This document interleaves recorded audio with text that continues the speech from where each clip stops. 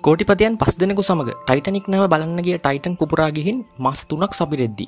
ඔන්න දැන් ඉන්දියාවත් මිනිසුන් සහිත සප්මසිබල් එකක් මුහුදු පතුලට යවන්නයි හදන්නේ. ටයිටනික් නැවතිබෙන්නේ මීටර් හාරදාහක් නැත්තම් කිලෝමීටර් හතරක් ගැඹුරේ පිහිටි මුහුදු පතුලක වුණත් ඉන්දියාව මේ මිනිසුන් යවන් හදන්නේ මීටර් හයදාහක් නැත්තම් කිලෝමීටර් හයක් තරම් ගැඹුරට වීම විශේෂත්වයක්. අපි සාමාන්‍යයෙන් සබ්මැරීන් කියලා කිව්වත් මේවා ඇත්තටම හඳුන්වන්නේ සබ්මර්සිබල් කියලා. ටයිටන් වගේම ඉන්දියාවත් මේ යවන්න හදන්නේ සබ්මර්සිබල් එකක්.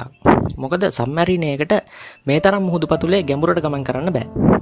ටයිටන් සිද්ධිය නිසා මුහුදු පතුලේ පීඩනය වගේම එක පුපුරා ගිය හේතුවත් ඔබ දන්නවා ඇති. ටයිටන් පුපුරා යන්න ඒක හැඩේ වගේම ඒක හදපු මාධ්‍යත් බලපාල තිබුණා.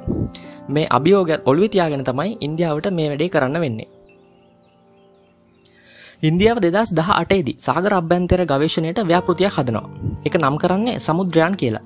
ඉන්දියාව මේ වෙද්දි හඳත් ඉරත් ගවේශණය කරන ගමන් තමයි මේ මුහුදට බහින්න හදන්නේ. සමුද්‍රයන් ව්‍යාපෘතියට ඉන්දියාව ඉන්දයානු රුපියල් කෝටි හාරදස් හැත්ත හතක් මෙන් කරලා තියෙනවා.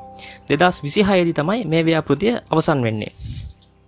ඉතින් මේ සමුද්‍රයන් ව්‍යාපෘතිය මගින් මුහුදු පතුලට මිනිසුන් තිදෙනෙකු යවන්න ඔවුන් සබ්මසිබල් එක හදලා. මත්ස්‍ය හයදාහ කියලා තමයි ඒක නම් කරලා තියෙන්නේ. මේක ටයිටන් වගේ දිගටි හැඩේ වෙනුවට මුහුදු පතුලේ පීඩනය දරාගන්න අවශ්‍ය ගෝලාකාර විදිහට තමයි හදලා තියෙන්නේ. ඒක නිසා මුහුදු මට්ටමේ පීඩනය වගේ 600 ගුණයක පීඩනයක් ඒකට දරාගන්න පුළුවන් කියලා මේ ව්‍යාපෘති ආරම්භ කරපු ඉන්දියානු ජාතික සාගර තාක්ෂණ ආයතනය කියනවා. දියට පීඩනයට ඔරොත් දෙන විදිහට මිලිමීටර් 80ක ඝනකම සහිතව ටයිටේනියම් මිශ්‍රිත ලෝහකයෙන් හදපු මේ සබ්මර්සිබල් එක මීටර් 2.1ක විශ්කම්භයකින් යුක්තයි. මේකේ ඇතුලේ ක්‍රියාකරුවා සමග තවත් දෙදෙනෙකුට ගමන් කරන්න පුළුවන්. සාගරපතුල ගවේශණයට අදාළ සංවේදක හා රොබෝ උපකරණත් අභිවිභේදන කැමරාත් මේකට සවි කරලා තියෙන්නේ.